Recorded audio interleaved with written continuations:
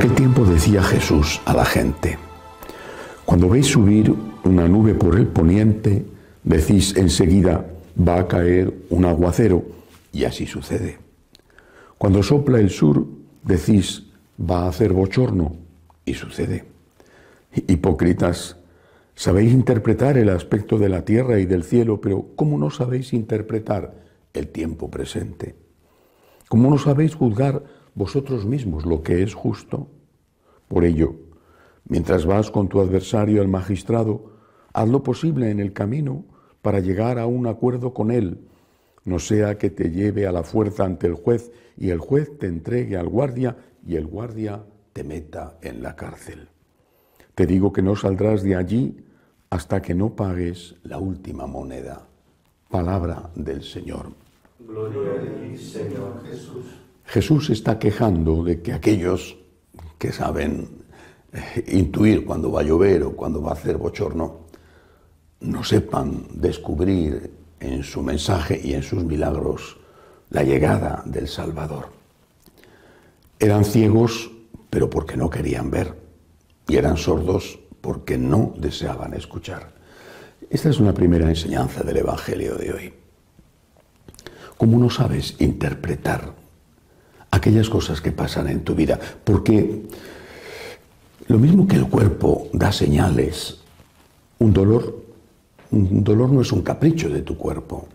Un dolor es como una sirena que se enciende y empieza a sonar cuando entra el ladrón en casa. Es una señal de alarma. ¿Qué te está pasando? ¿Estás bebiendo mucho? ¿Comiendo demasiado? ¿Estás tenso? Y por eso la angustia en el estómago. ¿Qué te está pasando? Tu cuerpo te está dando señales de alarma. Del mismo modo te da señales de alarma tu alma. Y debes de saber interpretarlo. Tu alma te está diciendo, por ejemplo, ¿por qué no estás durmiendo bien? Tu alma te está diciendo, ¿por qué estás tan nervioso? ¿Por qué estás saltando a la más mínima? ¿Qué te pasa? Te lo está diciendo tu alma. Es tu alma la que te está diciendo, por lo menos en muchos casos, ¿eh? te está diciendo, hay un problema de fondo.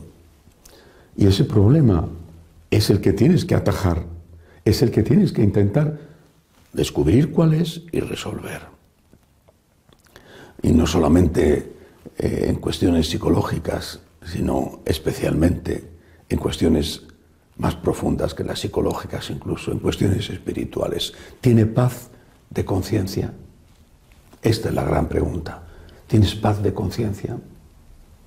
Y por eso Jesús termina diciendo este, poniendo este ejemplo de mientras vas con tu adversario al magistrado, haz lo posible por el camino por llegar a un acuerdo con él. Aparte de que es un consejo sensato. ¿eh?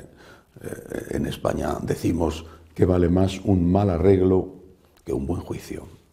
Pero aparte de eso, la gente se empeña muchas veces en pelear y pelear y en la pelea se va el dinero para los abogados, con respeto a los abogados, y, se va el ánimo, la paciencia, la paz.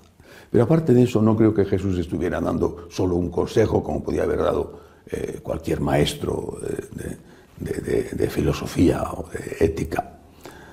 Él es el Señor y no que está hablando de otra cosa, no que está hablando de la vida eterna. No que está diciendo, debes de estar en gracia, te van a llevar a juicio, arréglate con el que te va a poner la demanda, debes de estar en gracia, debes de dejar zanjados tus asuntos antes de que te hagan pagar hasta la última moneda. Deja arreglados estos asuntos, que eso de verdad es lo que, lo que vale, lo que más vale. Es la vida eterna lo que te estás jugando, no es cualquier cosa.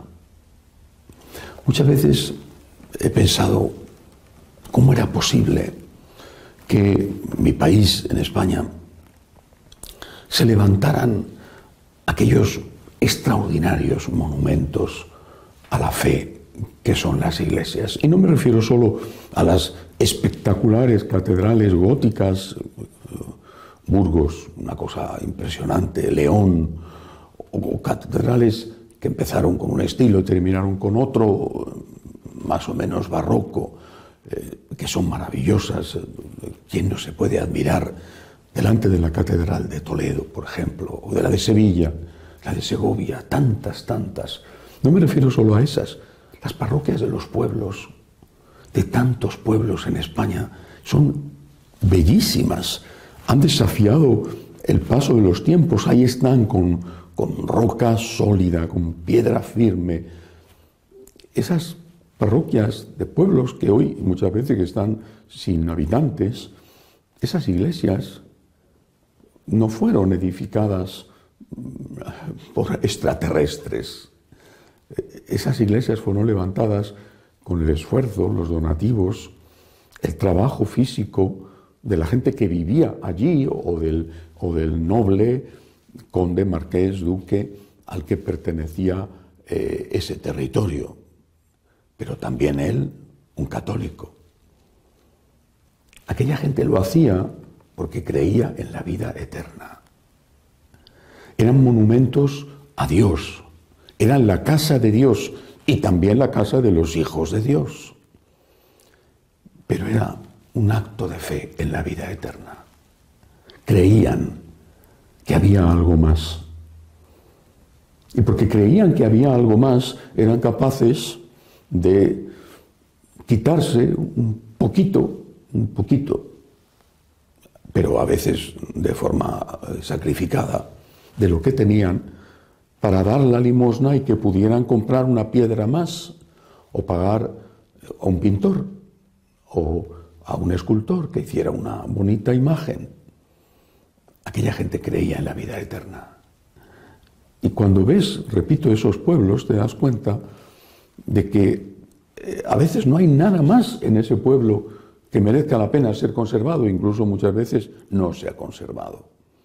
A veces la verdad es que lastimosamente no se ha conservado, pero monumentos, la parroquia, bueno, en algunas ocasiones la plaza del pueblo es muy bella, pienso en, lugares como Pedraza, por ejemplo, en Soria, en, Segovia, ¿no?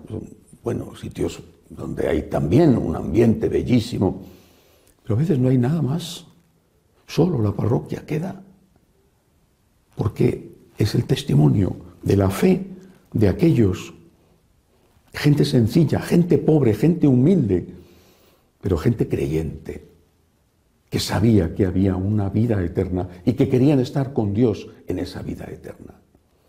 Nosotros, en cambio, nos afanamos, nos preocupamos, nos angustiamos. No digo que en parte no tengamos que hacerlo, pero solo en parte. Hay vida eterna. Y nuestra mayor preocupación, repito, como la de nuestros antepasados que nos dejaron esos grandes monumentos, nuestra mayor preocupación debe de ser estar en paz con Dios, estar en gracia de Dios.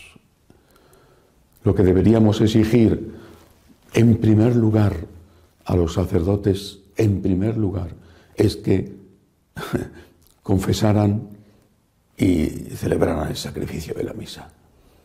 Necesitamos estar en paz con Dios. Estando en paz con Dios, no digo que todo esté resuelto, porque claro, hay que comer, hay que vivir, pero estando en paz con Dios, muchas cosas se resuelven por sí mismas y nos da Dios la fuerza para luchar por las otras. No permitas que llegue la hora en que te lleven ante el juez sin haber arreglado tus asuntos en la tierra y sobre todo en el cielo. Que así sea.